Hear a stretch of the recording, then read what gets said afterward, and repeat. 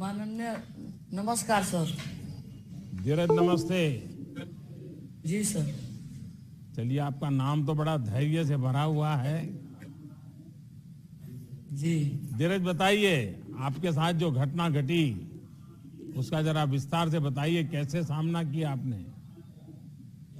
हम दोनों भाई गए थे भैंस धोने के लिए।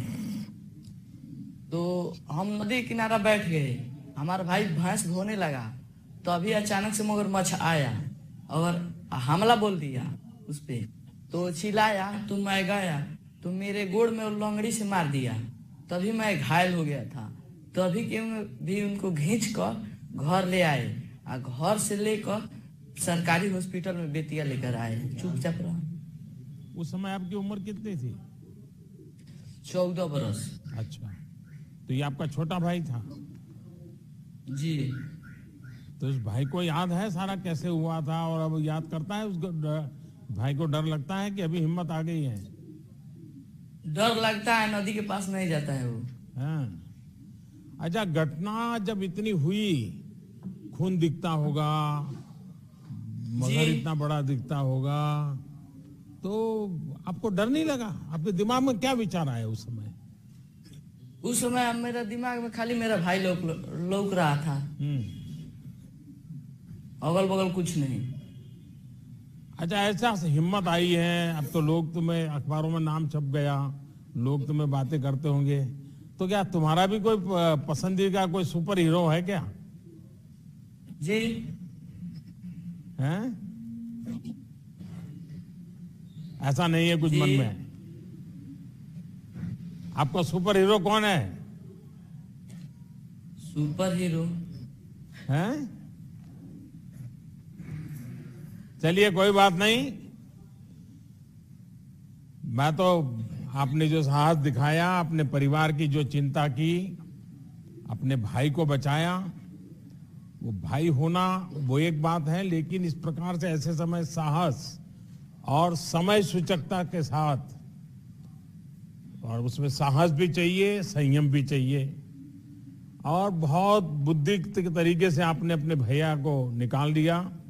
मैं समझता हूँ कि आप जैसे बालक ऐसी घटनाओं में जब अपने भीतर की सारी शक्ति को उपयोग करते हुए किसी की ज़िंदगी बचा देते हैं तो अपने आप में एक प्रेरक बन जाती हैं।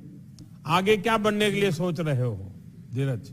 फौजी फौ- फौजी बनकर देश का सेवा फौज में जाना है। जी। चलिए फिर तो देशभक्ति भी उतनी भरी पड़ी है आपके अंदर। मेरी आपको बहुत शुभकामनाएँ। बहुत बहुत धन्यवाद। बहुत बहुत प्रधानमंत्री जी धीरज के बाद अब वीरों का प्रदेश पंजाब आतुरता से आपकी राह बांट रहा है जहाँ पर समाज सेवा के लिए पुरस्कृत मेधांश कुमार गुप्ता आपसे संवाद करना चाहेंगे। तंत्र मंत्र के बादशाह भारत के जाने माने सर्वश्रेष्ठ गुरु खान जी। मिलेगा हर समस्या का समाधान गारंटी के साथ। मेरी बेटी की शादी के लिए बहुत से रिश्ते आते थे पर कोई न कोई अड़चन पड़ जाती थी। इसी वजह से मेरा पूरा परिवार बहुत परेशान था। बाबा जी की दुआओं से आज मेरी बेटी एक बड़े घर की बहू बनी। भटको चाहे जहाँ काम होगा सिर्फ़ यहाँ। गृह कलेश कर्ज मुक्ति प्रेम विवाह जादू टोना। पति पत्नी में अनबन। सौतन या दुश्मन से छुटकारा विदेश यात्रा में रुकावट फ़िल्मों में प्रवेश और कोर्ट कचहरी जैसी समस्याओं का समाधान। सभी समस्याओं का समाधान गुरु खान जी अभी कॉल करें nine eight two one seven zero seven nine nine six. Vedant नमस्ते। नमस्कार माननीय प्रधानमंत्री जी। वेदांत बताइए। एक तो खुद के विषय में बताइए और अपने साथ कौन कौन बैठे हैं वो भी बता दीजिए। सर, सबसे पहले तो मुझे बहुत खुशी हो रही है कि मुझे आपके साथ बात करने का एक शुभ अवसर मिला, सो मैं आपको बहुत बहुत धन्यवाद करता हूँ। और सर, जो मेरा मेन फ़ील्ड है, जिसमें मैंने काम किया है, वो मेरा आईटी के अंदर है टेक्नोलॉजी में। तो मैंने उसमें काफ़ी प्रोजेक्ट्स बनाए हैं एंड जो मैंने अपना मेन वर्क किया है वो मैंने कोरोना टाइम के अंदर किया है बिकॉज़ लोग काफ़ी पैनिक क्रिएट कर रहे थे कि लोगों को पता नहीं था कोरोना क्या होता है। तो उसके लिए मैंने अपने फ़ील्ड के अंदर दायरे में रहकर मैंने लोगों के लिए एक ऑनलाइन पोर्टल लॉन्च किया जिसके अंदर लोगों को सारी जानकारी मिलती थी कोरोना के लिए। एंड उसके साथ मैंने एक हेल्पलाइन नंबर जारी किया जिस पर लोग लोग जुड़े थे तुम्हारे साथ?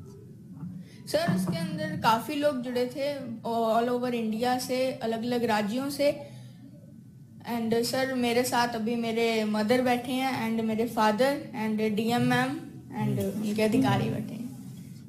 तो ये आपको आदत किसने डाली? माँ बाप ने डाली है? स्कूल में कॉलेज में डाली? क्या हुआ?